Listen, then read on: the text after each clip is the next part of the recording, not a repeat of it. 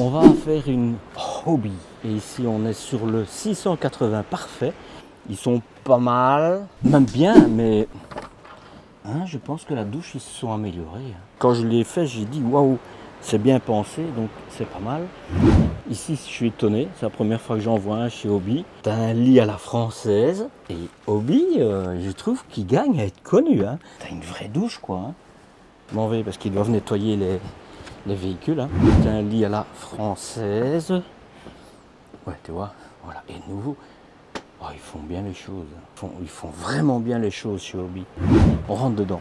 Il, vaut euh, euh, un peu plus de 89 000. Et j'espère juste pouvoir me faire inviter par exemple chez le constructeur. Et ils sont intelligents, regarde ça. J'espère que je les rencontrerai. Euh... Allez, je rentre dedans, comme ça on voit.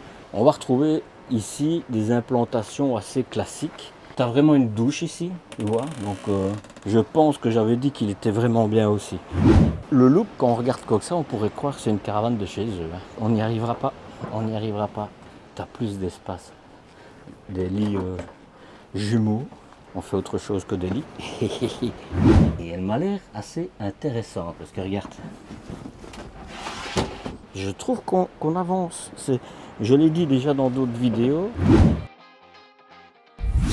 Bon, je te le dis tout de suite dans les vidéos que tu vas voir. Toutes ces vidéos et bien plus seront bientôt publiées sur la chaîne YouTube Le Petit Marcel en camping-car. Abonne-toi pour ne rien rater.